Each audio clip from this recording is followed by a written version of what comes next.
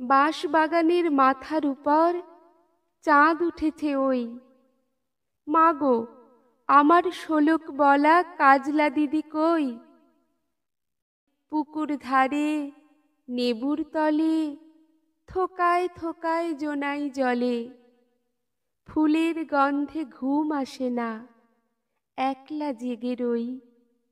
মাগো, আমার কোলের কাছে কাজলা দিদি কই?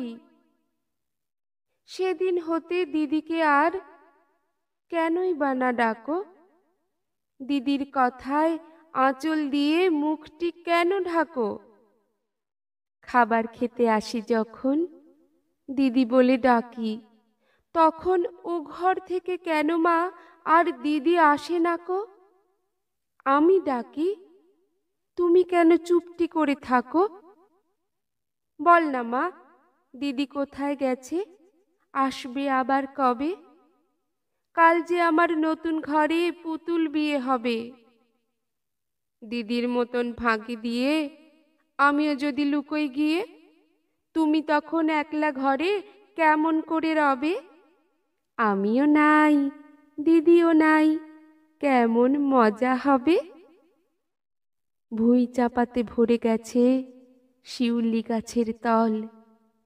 মারাস মা পুকুর থেকে আনবি যখন জল? ডালিম গাছের ডালের ফাঁকে বুলবুলিটি লুকিয়ে থাকে। তারে উড়িয়ে মাগো, ছিঁড়তে গিয়ে ফল। দিদি এসে শুনবে যখন, বলবে, কি মা বল? বাঁশবাগানের মাথার উপর চাঁদ উঠেছে ওই। এমন সময় মাগো আমার কাজলা দিদি কই? বেড়ার ধারে, পুকুর পাড়ে, ঝিঝি ডাকে ঝোপে ঝাড়ে, নেবুর গন্ধে ঘুম আসে না।